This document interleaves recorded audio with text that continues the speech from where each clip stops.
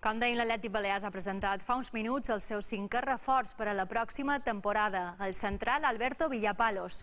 El jugador de 22 anys arriba procedent del Sevilla C i ja va coincidir amb el tècnic balearico Armando de la Morena, que el va entrenar a les categories inferiors de l'Atlètic de Madrid. El nou jugador blanc i blau creu que pot aportar molt a l'Atlètic Balears i té un objectiu ben clar, pujar l'equip a segona divisió a final de temporada.